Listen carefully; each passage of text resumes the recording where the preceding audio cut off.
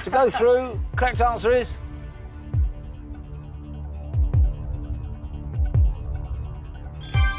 Waterloo. Waterloo. Staying where you are. Chaser has put.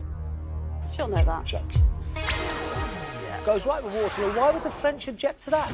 They got defeated, didn't they, if you remember correctly? 1815, it's the anniversary. Yeah, but some you win and some you lose. It's still fresh for the French, 200 years later. Crikey. A bit like their cheese. right, she's catching us up. Good job you didn't go for the 54 grand. It's a very good job. I told you. Told you. Here's your next question.